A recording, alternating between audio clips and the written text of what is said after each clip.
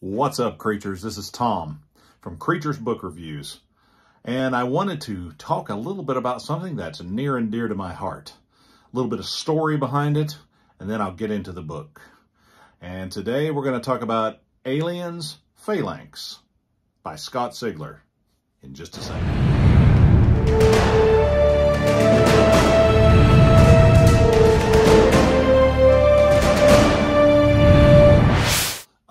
Long time ago, way back in 1979.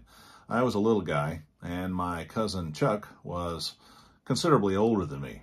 And I remember, for some reason, we were staying a week at my grandmother's. And Chuck left to go somewhere, I think maybe with his dad or some older friends. Uh, and Keith and I stayed at home, and we were much younger, and we were just goofing around playing with Matchbox cars or Star Wars figures or something like that. And he came back, and I remember he had a headache because he said there was flashing lights in the movie that he had seen. And the movie he had went to see was Ridley Scott's Alien. He had went to see it in the theater. And of course, being a science fiction buff that I am and uh, being a curious young man, I had all these questions about the movie. And he was a little reluctant to tell me, but he did share some information with me about it and some things that happened. And um, I became obsessed and terrified of the xenomorph that was in this movie. And I began to see it on magazine covers. I began to see it in toy stories, uh, toy stores where I would walk by and see the action figure. And I remember it more than one time creeping me out to the point that I was scared to death of the thing. Uh, a friend of mine had a graphic novel of the movie. And I remember looking at it and I remember reading it and for the first time seeing actual gore in a comic book format. So it wasn't years later until I actually saw it, but I had always had a soft spot for the xenomorph stories because it truly terrified me. And if you ask me, I'll be honest with you, I think that Alien is one of the most terrifying, if not the most terrifying film ever made. Everyone seems to gravitate towards saying The Exorcist is their favorite film that scares them. Well, not me. I'm not nearly as afraid of The Exorcist as I was Alien uh, all the way back in 1979, and it still holds up today. It still makes my skin crawl. But that leads me to where I am today. I've read comic books from Dark Horse and I've read several novels set in the Alien universe, but then I stumbled upon a novel called Aliens Phalanx by Scott Sigler. Now, I had read Scott Sigler before, and I really enjoyed some of his stuff. Uh, he's incredibly violent. Um, his stories are really, really uh, gritty and tough, and uh, sometimes it uh, makes you want to just go, oh, man, did he really go there? He did. But when I saw that he was going to write an Aliens book, uh, and I saw that it was out on the shelf, and I picked it up, and I'm like, wait a minute. This is an Aliens novel set in basically the Copper Age. Uh, it's the Middle Ages. How did he pull this off, and how is this story going to go forward? Well, I read it. It's a nice, big, beefy book. It's about five, 600 pages. And I, I got through it and certainly enjoyed it. Uh, I couldn't believe what I was reading. Now, some people have complained a little bit that it has some young adult elements to it. And I can see that because some of the characters are indeed younger. But believe me, this is a true, honest to gosh, science fiction, horror, just super adventure. Somehow he has managed to marry horror, science fiction, and fantasy all into this concoction that just comes out in absolute brilliance. Uh, the book opens with just a tremendously tense scene, and it maintains this tension.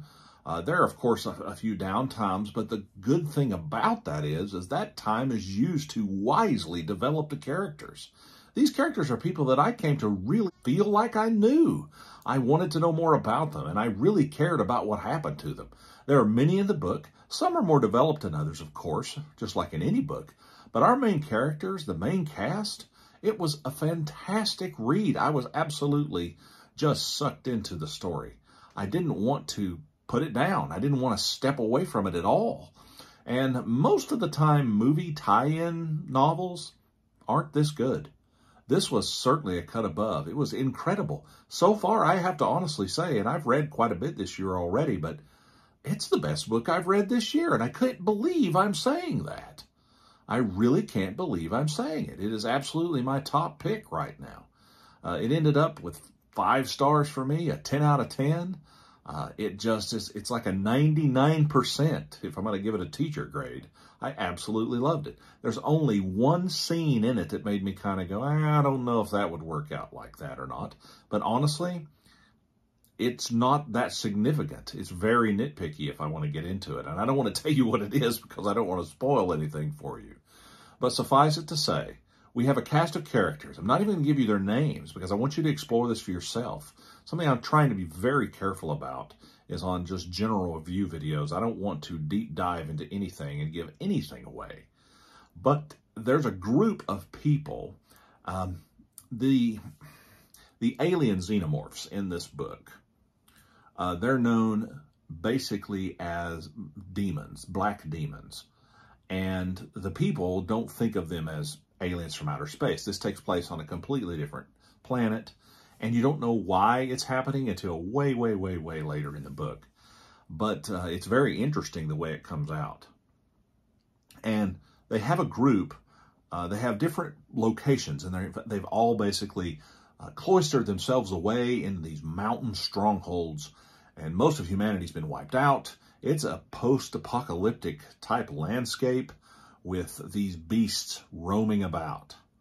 Uh, when Scott Sigler was interviewed about this, he said, you know, you can't really nuke them from orbit when you don't have a nuke. And that's the situation these folks find themselves in. They have armor, bow and arrows, spears, something they call a demon fork. Very few people have even successfully killed one of the xenomorphs. And if to do so is to be an incredible badge of honor. It's an incredible society based on very harshly structured situations, and each one of these mountain strongholds have different sets of laws. They have groups of people called runners.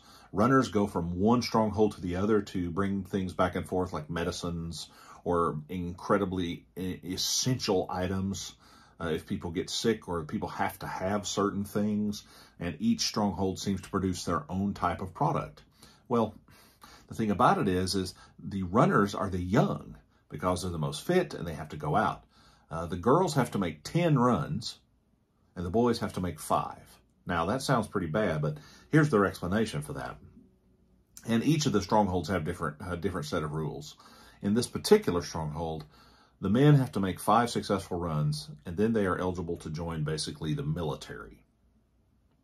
The girls have to make 10 runs, and then they can stop running and join uh, with the, the other professions that are available, everything from weaving to ironsmithing to whatever it might be uh, inside the strongholds. Uh, the girls have to do that because they are not allowed to join the military in this particular stronghold the one that we're basically dealing with most of the time. And that's kind of an interesting um, setup, the way they have that set up. Now, all the strongholds are not like this. Some of them are different. They have different uh, ways of thinking. Women can't join the military in our primary uh, stronghold that we're reading about. And they wear these suits called Heidi suits. And they basically put uh, leaves. It's like a, like a type of leaf that's all over the suit and branches. And they're trained to literally take their own lives rather than being taken away by one of the black demons or killed because they think that there is a demon queen that lives in Black Smoke Mountain and that she turns you into one of the black demons if they take you off. And it's better to die by cutting your own throat than to be taken by the demons. And they always hope and train that they have the courage to do this if they find themselves in that situation. Silence is one of their greatest weapons, basically their greatest friend to be completely silent.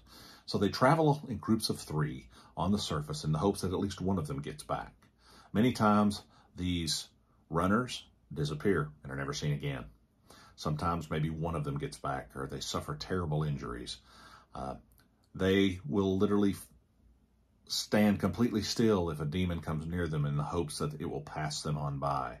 And there's some incredibly tense scenes. Imagine, here you are. You don't have a machine gun. You don't have grenade launchers. You basically are just using your wits, your nerve, and trying to stay still and quiet. And the um, xenomorphs, the black demons, they mostly come at night, mostly, as Newt says and on the surface of the planet. And so they do try to move about most of the time during the day. But the story opens up with one of these journeys, and there's reasons that seems to be strange that the, they're seeing more of these demons out and about during the daytime, and they're wondering why. And I hope that whets your appetite just a little bit for the absolute delight that this book is. If you enjoy science fiction, fantastic. If you enjoy fantasy, fantastic. If you enjoy high adventure, uh, absolute tense thrillers, this is a book for you. Now, there is one thing that I would probably recommend. If you have not seen the original Alien or and Aliens, I would recommend seeing at least those first two films before you read this book. For the simple fact that it will give it context. You will understand more of the things uh, if you do take the time to see those two films. Now, I in the circles that I travel, most everyone has seen it. Uh, Aliens is some of the most quotable lines that's in film history. And uh, a lot, most of my friends have quoted them back and forth for years, being stupid or silly in a situation like "Game over, man, game over." You know, I'm sure you probably have experienced some of that with your friends, uh, if you are a movie buff or a science fiction buff. But the point I'm trying to get at is, if you have that context, you will truly enjoy the book that much more. Mr. Sigler has done a tremendous job. Do you know, they say that he sent, I think, five or six different ideas to, um, I think, 20th Century Fox, the owner of the Alien franchise, and that they chose this one. And he has always loved this property and wanted to write in it. It is just a match made in heaven. And my question is, and I put this question to him on uh, Goodreads. He's not responded yet. He sometimes responds to questions. He's got a little section there. I hope he does respond. Is, will we ever get to see any of your other ideas? I sure hope so, because he knocked it out of the park with this one. Pick it up. If you're looking for an absolute thrill ride, it's an easy read, it's a fun read, uh, it is just a wonderful, exciting, superbly crafted story where you will really like the characters. Now, if you're expecting a more traditional colonial marines in outer space and hard science fiction type setting, you're not going to get it. You're going to basically get fantasy with xenomorphs. And it is just amazing. I cannot believe he pulled it off to this level. Well, I hope you check the book out. Let me know if you've read it. Uh, let me know what you think. Uh, as always, we certainly appreciate you watching. If you like what we're doing here, please give us a thumbs up and like our video and please subscribe because I'd just like to, to build a community uh, so that we could talk about these things together. I just enjoy sharing. I also have another channel. It's a comic book channel and a movie channel that is coming up uh, soon. Going to be putting some content on those, and you'll find links for those down below uh, for those different channels. And I uh, also have a devotional channel if you're interested in that. So you'll see all the links for my different channels. I enjoy doing these videos, and I certainly enjoy spending time with people of like mind. I hope you have a great day. Thanks for watching. As always, be kind to each other. See you next time.